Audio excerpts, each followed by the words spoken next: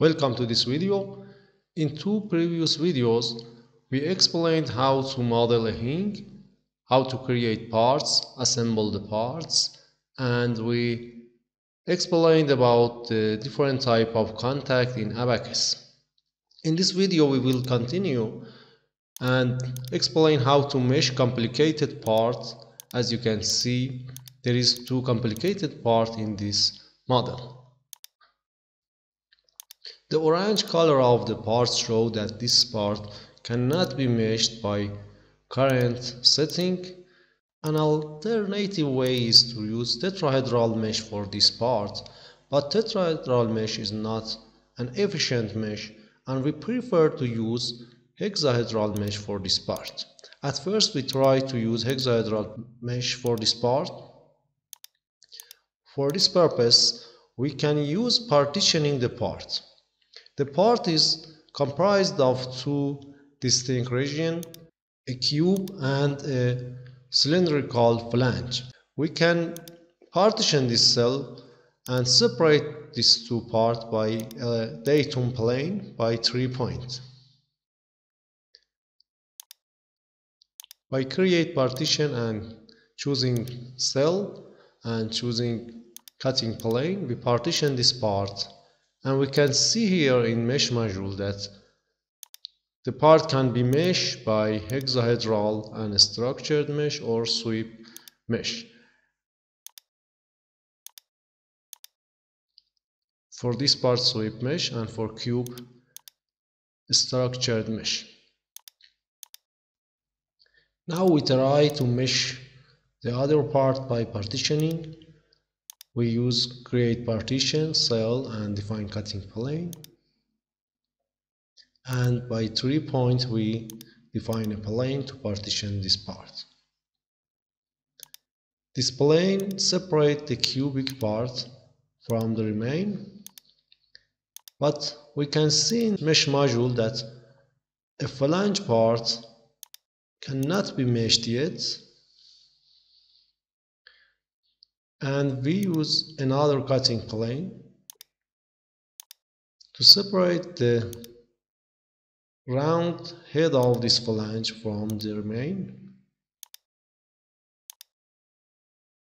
and check it again in mesh module. We can see that this part can also be meshed by hexahedral mesh and structural or sweep meshing The mesh type is a standard and 3D stress. We use linear mesh here, but quadratic is more suitable for stress concentration. And we can see the parts.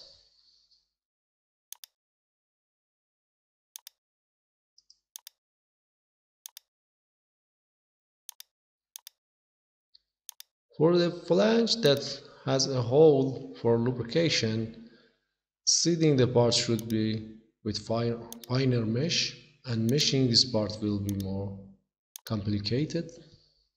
As you can see, we cannot mesh it yet. There are different ways to solve this problem.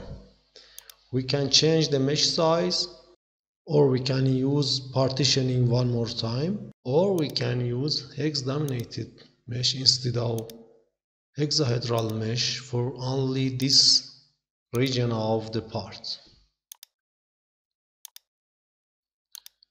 Now both the parts are meshed and the remaining part that is pin was analytical rigid and analytical rigid part does not need to any mesh. We can continue and go to run this problem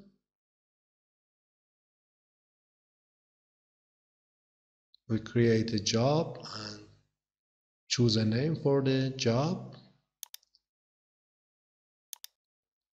Before submitting the job, we should note that we changed the parts and therefore surfaces are also changed and we should define surface of this part another time because of partitioning. By tool surface manage. We can edit the created surface for the flange.